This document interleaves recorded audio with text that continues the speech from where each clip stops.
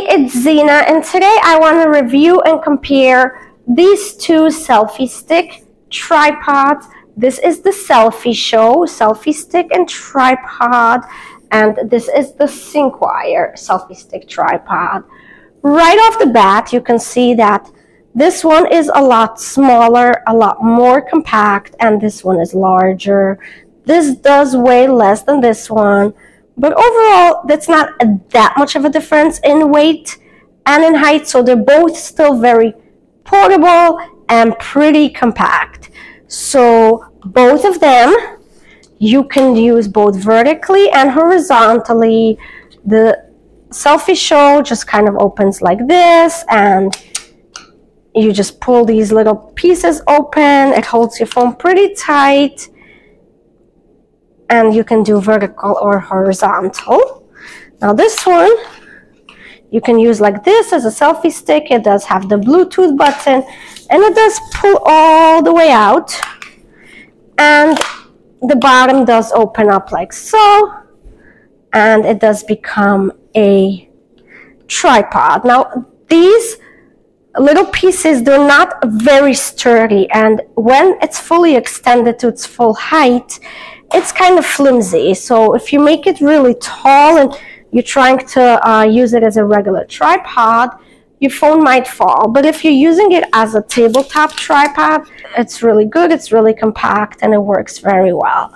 Versus the SyncWire, just pull it out like so, and this is where you would put your phone, also pretty strong, or hold your phone really well.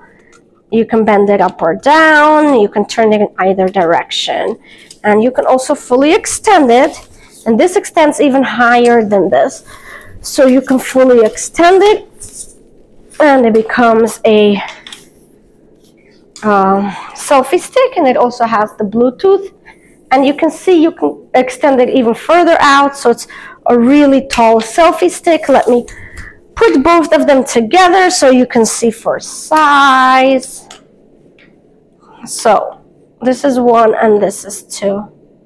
So obviously you can see that one's a lot taller. And that matters also when you open it. This is the SyncWire. So right off the bat you can see it's like a real tripod. The legs are super sturdy, uh, but obviously it does take up a wider footprint on the bottom for its legs. And these are both fully extended and you can see the SyncWire is a proper full face height tripod for me. I'm 5'2", so I can stand it fully and record myself speaking directly to the camera versus the selfie stick. This one is a lot shorter, so we'll have to, like, it's good maybe for sitting height.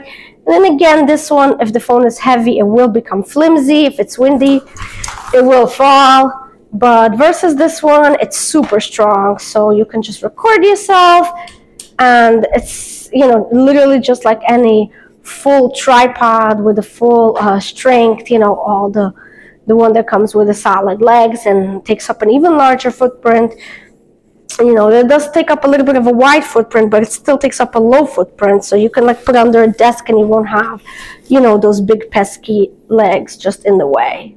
So overall, both of them are good.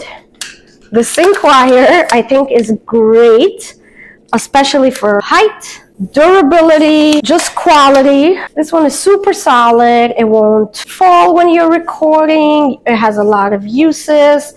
I would highly recommend it if you have the space, your luggage, and you have the weight limit. This is my go-to. But then again, this literally will fit into any handbag or a little backpack, like a drink holder uh, compartment or even smaller. And you, it's so lightweight, you won't even know you have it.